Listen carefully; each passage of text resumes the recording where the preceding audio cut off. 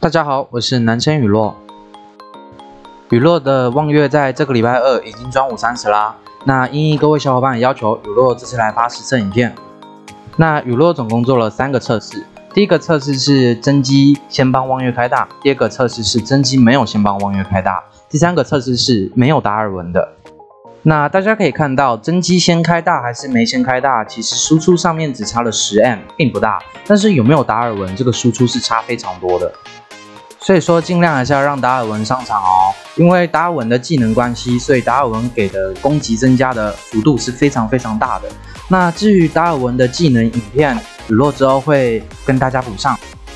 当然，还有其他小伙伴在影片留言处留言说想看的东西，雨落都有做笔记，之后都会慢慢的跟大家做补上。这次会拍这部实测影片的原因，是因为有位小伙伴呃好奇说，哎。大家看影片上方会有一个龟龟，呃，站住了一个位置。那位小伙伴想说，诶，如果我把那个龟龟换成望月，呃，多一次大招的机会，会不会输出更高呢？那实际的结果，大家也可以从呃前面的对比照片中看出，没有达尔文的话，输出会差一倍，是差非常多的。主要的原因在于达尔文的技能。那这个要讲解有需要有一点时间，雨落之后再做影片专门为大家讲解，就不在这边跟大家赘述了。